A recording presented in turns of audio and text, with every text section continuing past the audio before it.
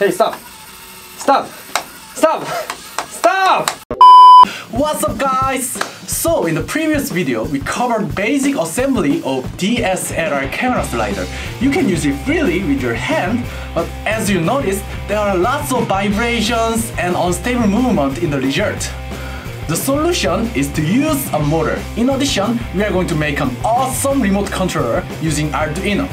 Enough talking, let's get started. So the motor would be placed here and there is a roller connected to motor shaft you see. So as the motor turns, the slider head will move along the lane. The motor we used here is called gear DC. The slider needs a lot of power to move heavy camera. Usually, a stepper motor is used, but it consumes power a lot. So we considered gear DC would be better. To be honest, I don't know if it would as we expected, but let's give it a try.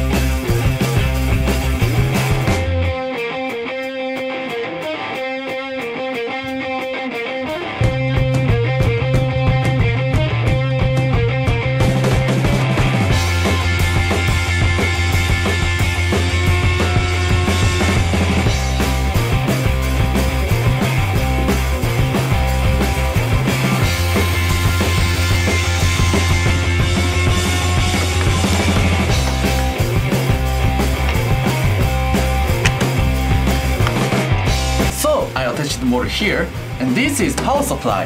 When I apply the power to motor, the motor turns and the slider will move along the lane.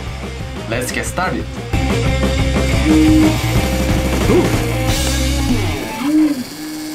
Now we need a circuit to control the motor. Sort time!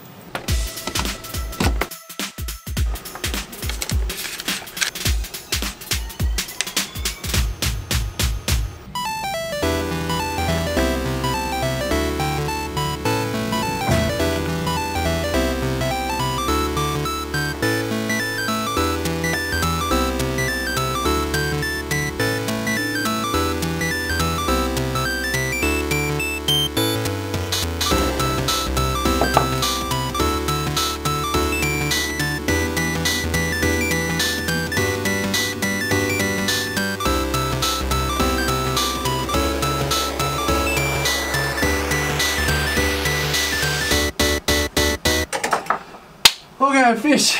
This is what main controller looks like. This is DC motor driver which send actual signal to the motor.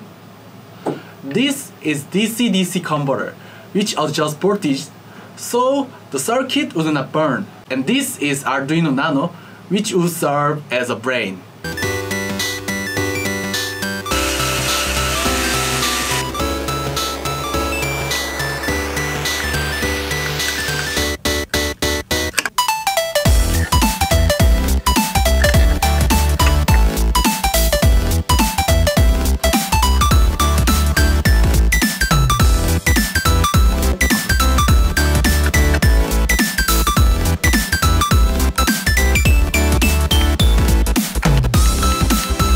Coding, coding, coding! So, now I think it's my turn. Let's start programming.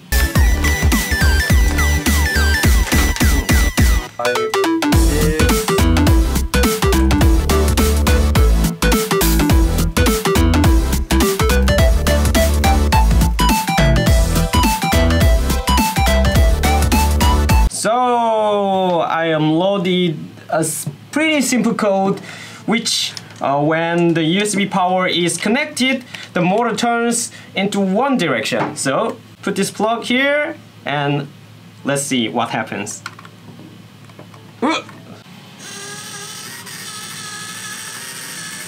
What? What's happening? so the battery case goes. Wait. What? Well, something's wrong. Yeah. Uh, so this part is controller box and it should go there, not here. And this is the battery case. So you see, yeah, batteries put it here. This part should go here. Well, it's okay. Disassemble, reassemble, it's okay. Yeah.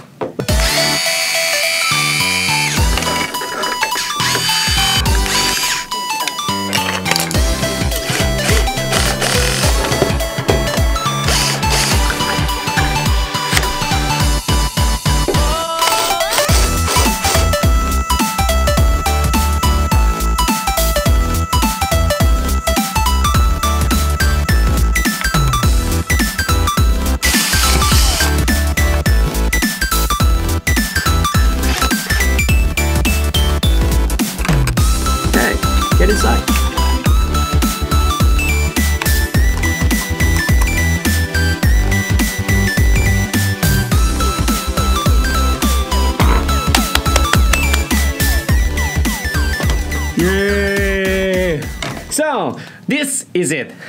I think it's almost done and it's spring. Yeah, spring is coming and it's so warm outside. So let's go out and take some footages.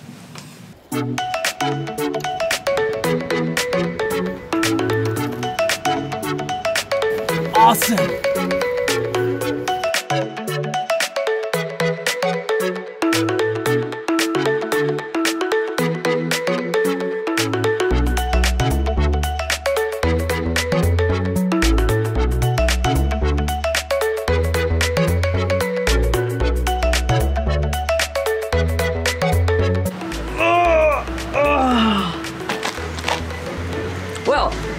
The footage? Isn't it awesome? Well, while taking some footages, we found two minor problems.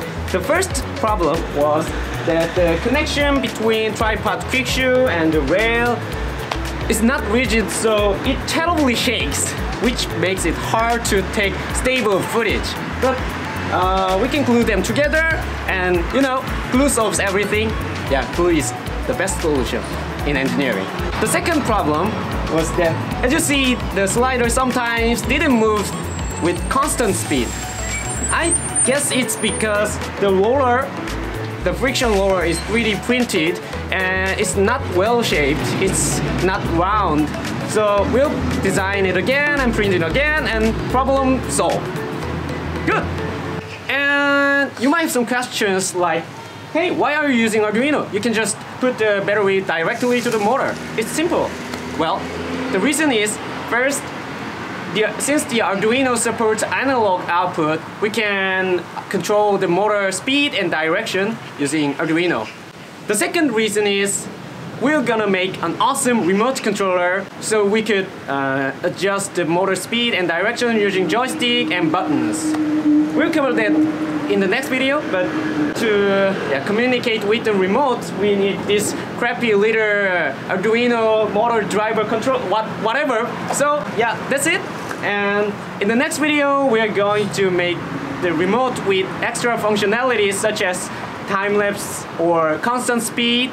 And thank you for watching. Like and subscribe. See you in the next video. Bye bye.